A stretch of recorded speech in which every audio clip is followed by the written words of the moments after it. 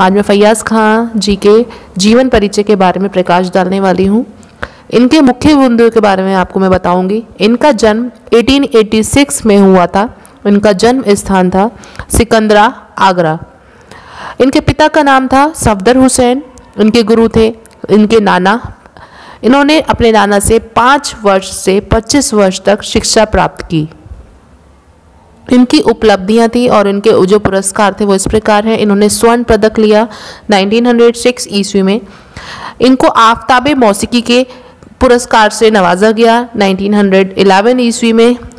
बड़ौदा के महाराज सियाजी राव ने इनको अपने दरबार में दरबारी गायक नियुक्त किया था।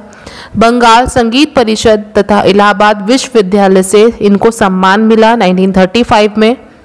और लाहौर रेडियो स्टेशन में इन्होंने बहुत सारी प्रस्तुतियाँ भी दी। इनकी जो विशेषताएँ थी वो इस प्रकार हैं। ये काफ़ी नीचे स्वर से गाया करते थे। इनकी आवाज़ जोरदार और भरावरदार आवाज़ थी। सभी तरह के गायन में ये निपुण थे। ख्याल, ध्रुपद धमार ये अच्छी तरीके से गाते थे। ख्याल में भी नोम तोम का आलाप करते थे। बीच बीच में तू ही आनंद हरि कभी कभी गाया करते थे। इनका रचनात्मक नाम है प्रेम प्रिया।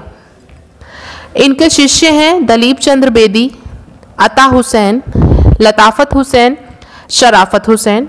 इनकी मृत्यु हुई पाँच नवंबर 1950 में।